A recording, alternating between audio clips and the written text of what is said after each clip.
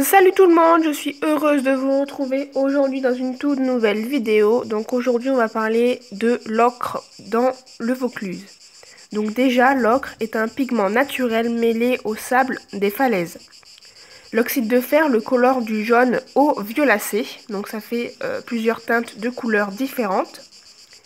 Ce paysage minéral a été façonné par les mains de l'homme et par l'érosion à Roussillon, pour faire le sentier des ocres, vous avez euh, deux, parcours différents, un court et un long. Ceux-ci ils vont vous permettre une visite de 30 à 60 minutes, mais vous pouvez euh, aussi le contempler aussi longtemps que vous le désirez. Donc on peut faire plusieurs fois le tour par exemple. De discrets euh, pupitres jalonnent votre parcours pour des explications sur la géologie, la flore l'histoire, le massif, l'ocrier du Luberon. Donc vous avez euh, plusieurs petits panneaux explicatifs très utiles pour euh, comprendre la formation de cet ocre à Roussillon.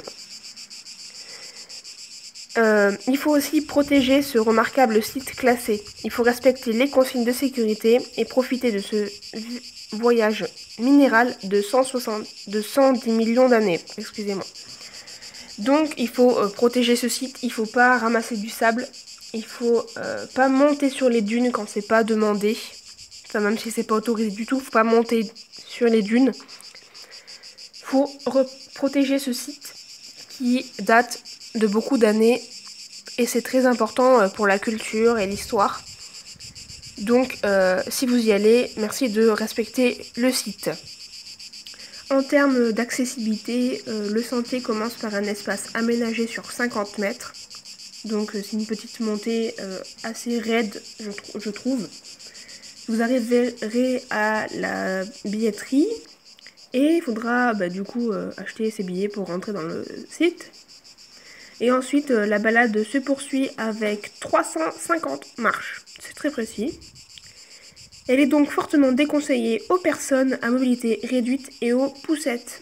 Les chiens sont acceptés mais euh, tenus en laisse sur, dans le site. Et pour avoir euh, plus d'informations, je vous invite à contacter euh, le site internet du Sentier des Ocres de Roussillon. Bon, j'espère que vous avez aimé Roussillon. Moi j'ai adoré quand j'y suis allée, j'ai kiffé. C'était des endroits vraiment très beaux pour faire de la photographie. Vous avez vu euh, dans ma vidéo toutes les photos que j'ai faites. Et euh, je vous conseille vivement d'y aller parce que c'est vraiment un site exceptionnel. Il y a vraiment de belles choses à voir, c'est très instructif. Il y a plein de choses culturelles à apprendre sur la géologie, la formation de l'ocre. Bref, je vous conseille vivement d'y aller et de faire le tour. Même le, grand tour, hein, ça va vite à faire. Vraiment, allez-y quoi. C'est exceptionnellement très très très beau.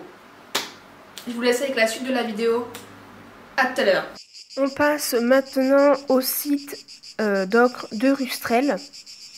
Donc l'important gisement de Rustrel a valu ses carrières. Le nom euh, évocateur de Colorado comme aux États-Unis. Ce site exceptionnel, baptisé ainsi pour la variété de ses formes et de ses couleurs, permettent d'associer plaisir, de la randonnée et de la découverte d'un patrimoine industriel. La beauté d'un site est le résultat du travail réalisé par quatre générations d'ocriers et de paysans. Les anciens chantiers d'ocre des collines s'évadaient sur environ 4 km. Le site actuel couvre plus de 100 hectares, ce qui est euh, énorme pour moi. Les habitants de Rustrel nommaient le site les Ubacs de Rustrel c'est l'abbé Martel, président d'Alpes de Lumière, qui, en arpentant les sentiers de la commune dans le but de créer le GR6, baptise le site Colorado Provençal comme actuel. Pour les couleurs incroyables qui rappellent celles du canyon américain et surtout car Colorado en provençal signifie rouge. Certaines personnes ont appelé le Colorado 50 nuances d'ocre, c'est-à-dire qu'il y a un grand nombre de couleurs qui s'y trouvent. Donc au cœur du Colorado, les couleurs se déclinent et enchantent les yeux. Toutes les gammes d'ocre, jaune, rouge, orangé, brune, jusqu'au vert et au violet, ou mauve comme vous voulez, est représentée. Le paysage est le résultat de l'exploitation de l'ocre qui s'est faite dans la région dès le XVIIIe siècle. Peu à peu abandonnées, les carrières forment aujourd'hui un site grandiose apprécié par la promenade, pour la promenade et la randonnée touristique. De l'industrie de l'ocre, il subsiste encore ici et là des canalisations du matériel du bassin de, décantation. Cependant, le Colorado est aussi au milieu vivant, un milieu vivant exceptionnel et très fragile, caractéristique des zones silencieuses pins maritimes, bruyères, châtaigniers poussent en abondance. Il est recommandé de rester sur les sentiers balisés et de respecter le milieu que vous, allez traverser. Donc au Colorado euh, provençal de Rustrel, il y a aussi euh, deux parcours disponibles. Un, le balisage bleu. C'est un petit parcours, tout petit, qui reste en bas du circuit, donc c'est sur un dénivelé assez euh, plat. Et il y a aussi le parcours orange qui monte, lui, il monte en haut des falaises pour pouvoir avoir une vue plongeante sur les ocres euh, du, du, du lieu. Et euh, c'est très beau à voir. Il y a aussi le reste d'un petit aqueduc qui permettait, euh, sans doute avant pour l'exploitation des carrières d'ocre, Aujourd'hui, il n'est plus utile puisque l'eau n'y traverse plus euh, dessus.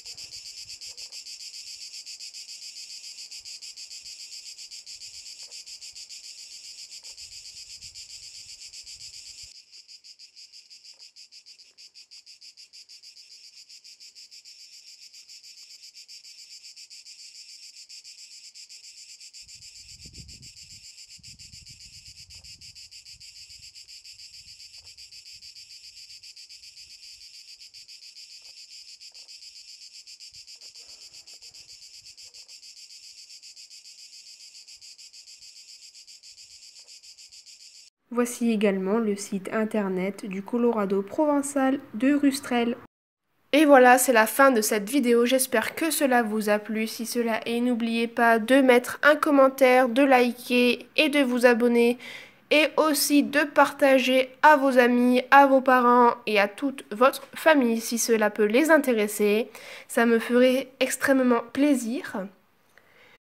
Et je vous dis à samedi prochain 17h05 pour une toute nouvelle vidéo. Bye bye